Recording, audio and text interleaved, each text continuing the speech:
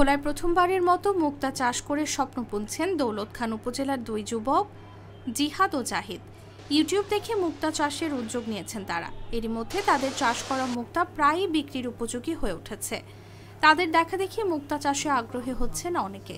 আমি জাহিদ জিয়াদ ভাইয়ের মুক্তা চাষের ইয়া দেখে আমি নিজে আগ্রহী হলাম। আগ্রহী হওয়ার পরে আমি নিজেই এটা করার চেষ্টা করি এবং আমি দুই হাজার জিনুক আমার বাসা পাশে পুষ্কিনিতে দুহাজার জিনুক করি। তাদের খামার আসছি মুক্তা দেখার জন্য। আশা করি আমিও মুক্তা চাষ করব আমার পাশের পুকুরে পুষ্কুনিতে এই পুষ্কিতে কীভাবে এরকম চাষ করবে ইনশাল্লাহ ওরা এখন সফল হয়েছে।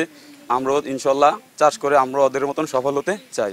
দৌলত খান উপজেলার শিবপুর ইউনিয়নের পাঁচ নম্বর ওয়ার্ডের শিবপুর গ্রামের বাসিন্দা মোহাম্মদ জিহাদ ও জাহিদ হোসেন। তারা সম্পর্কে চাচাতো ভাই। দু হাজার বাইশ সালের দিকে ইউটিউব দেখে মুক্তা চাষে আগ্রহী হন তারা। এরপর ওই বছরই ডিসেম্বর মাসের দিকে নওগাঁ থেকে ঝিনুক ও মুক্তার ডিজাইন এনে তারা বাড়ির পাশে দৌলত খান উপজেলার মেদুয়া ইউনিয়নের মেদুয়া গ্রামের চব্বিশ শতাংশ জমির পুকুরে শুরু করেন মুক্তা চাষ। তারা এক হাজার ঝিনুক ও ডিজাইন এনে পঁয়ত্রিশটি খাঁচায় ভরে পুকুরে ছেড়ে দেন। এতে তাদের সব মিলে পঁয়ষট্টি হাজার টাকা খরচ হয়েছে। প্রতি পনেরো দিন পরপর তারা পুকুরে সার ও চুন দেন। এজন্য খরচ হয় পাঁচশো টাকা। দুই হাজার বাইশ সালের শেষের দিকে আমরা এক হাজার ঝিনুক নওগাঁ থেকে সংগ্রহ করে আমরা আমাদের এই পুকুরে চাষাবাদ শুরু করি। বর্তমানে এর বয়স আট থেকে নয় মাস। প্রতি পিস ঝিনুকের বাজার মূল্য দুইশো থেকে আড়াইশত টাকা। আশা এখন পর্যন্ত আমাদের যে খরচ গেছে, আমরা আশা করি ভালো একটা মুনাফা অর্জন করতে পারব। জিহাদ ও জাহিদ জাগো নিউজকে জানান, তাদের মুক্তার আটটি ডিজাইন রয়েছে। এখন তাদের মুক্তার বয়স প্রায় নয় মাস।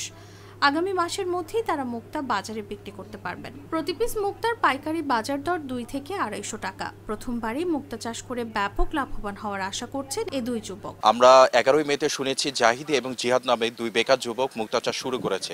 পরবর্তীতে আমরা সাথে সাথে খবর পেয়ে সেখানে উপস্থিত হই এবং হচ্ছে ওই চাষের পুকুরের মাটি এবং পানি হচ্ছে পরীক্ষা করি, ভৌত রাসায়নিক পরীক্ষা করি এবং তাকে বিভিন্ন পরামর্শ দিই এবং কীভাবে সে মুক্তা চাষে ভালো করতে পারে, কীভাবে সার দিতে পারে এ বিষয়ে তাকে বিভিন্ন পরামর্শ সেবা প্রদান করি।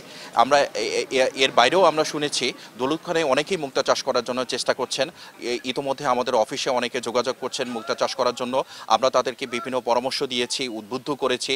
আমার মনে হয় এইভাবে যদি মুক্তা চাষ দলুৎখানে ছড়ানো ছড়ানো যায়, তাহলে কিন্তু হচ্ছে অনেক বেকার যুবক, যুবতীদের কর্মসংস্থান হবে। মুক্তা চাষের কথা শুনে প্রতিদিনই সকাল থেকে বিকেল পর্যন্ত তাদের খামারে স্থানীয় বেকার যুবকরা ভিড় জমাচ্ছেন। তাদের কাছ থেকে পরামর্শ নিয়ে দুই থেকে তিনজন মুক্তা চাষ শুরু করেছেন বলেও জানান জিহাদ ও জাহিদ।